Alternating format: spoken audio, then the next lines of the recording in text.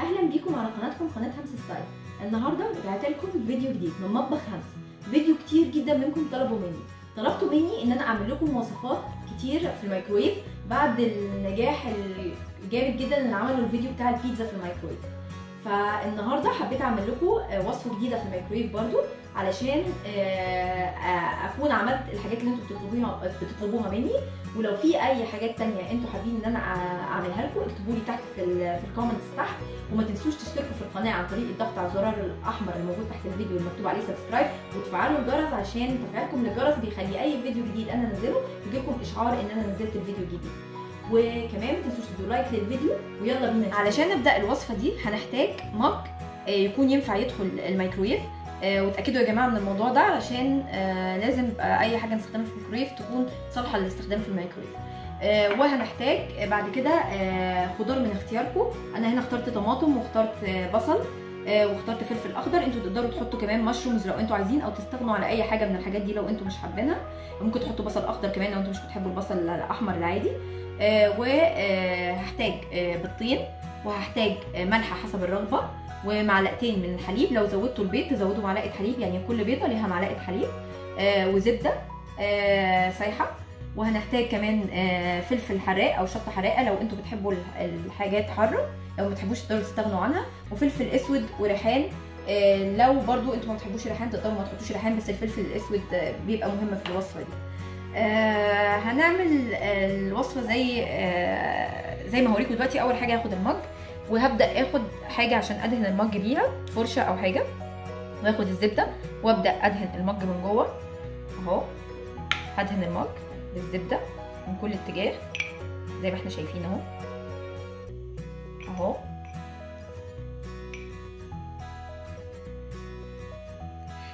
لو أنتوا مش حابين الزبدة تقدروا تستغنوا عنها تحطوا زيت أو تحطوا سمنة زي ما أنتوا حابين. بس ندهن كويس الأطراف بتاعة المج بالزبدة أو المادة الدهنية اللي أنتوا اخترتوها. وبعدين بعد كده هاخد البيض هضرب البيض بشوكة أو حاجة. هبدا اضربه بالشكل ده. طبعا لازم نضربه كويس علشان لو إحنا اتساب من غير ما يتضرب كويس ممكن يفرقع في الميكرويف وتضطروا إن أنتوا تقعدوا تنضفوا الكلام ده كله. فإحنا هنقلبه بالشكل ده وأحط عليه الملح بتاعي.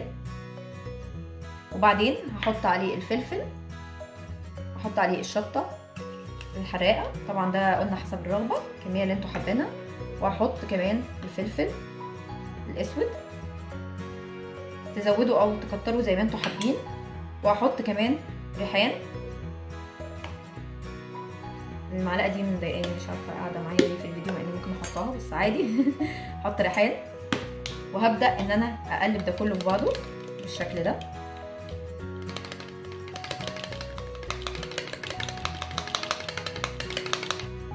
وبعدين هحط البيض أحط هنا المج وأحط فيه البيض. انزل فيه كل الكمية اللي موجودة. وهبدأ بعد كده أحط الخضار أهو طماطم.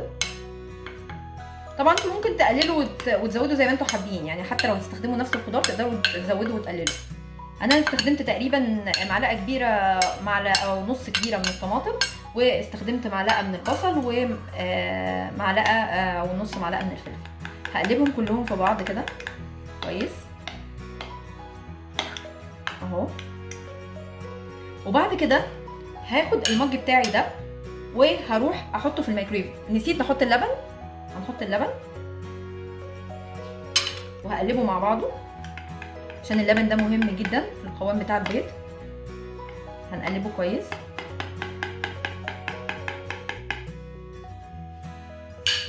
وبعدين هاخده واحطه في الميكرويف لمدة دقيقة. لو احتاجنا زيادة تقدري تزودي تاني. لكن دقيقة بتكون كفاية. لو انت بتحبي البيض ناشف تقدري تزودي عن دقيقة. لكن أنا بحب البيض يبقى طري فهحطه دقيقة في الميكرويف وهرجع اوريكم شكله هيبقى عامل إزاي بعد ما يخرج من الميكرويف. خليكم معايا. وبعد ما حطيته في الميكرويف لمدة دقيقة خرج خرج دلوقتي من الميكرويف أهو. زي ما إحنا شايفين شايفين شكله عامل إزاي؟ أهو. ده شكله بعد ما خرج من الميكرويف. هوريكم هقطع فيه أهو واوريكم أهو بصوا. شايفين شكله عامل إزاي؟ شكله بجد يجنن وطعمه لذيذ أكتر من شكله بكتير كمان.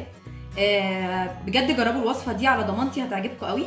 ولو عجبكم الفيديو ما تنسوش تشتركوا في القناة آه، وتعملوا subscribe للفيديو. آه، وتدوسوا على الزرار الأحمر اللي موجود تحت الفيديو مكتوب عليه subscribe وتفعلوا الجرس عشان توصلكم كل الوصفات الجديدة اللي أنا بنزلها. وادوا like للفيديو علشان ده بيشجعني ويحفزني إن أنا أنزل لكم وصفات أكتر من الميكرويف الوصفات اللي أنتوا بتحبوها. واكتبوا لي في ال comments تحت إيه اللي أنتوا عايزيني اعمله لكم المرة الجاية في الميكرويف ومن هنا الفيديو الجاي هتوحشوني قوي. أشوفكم الفيديو الجاي. bye.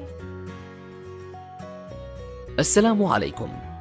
لا تنسوا الإعجاب بالفيديو والاشتراك في القناة. تشجيعا لنا لنستمر بنشر المزيد إن شاء الله.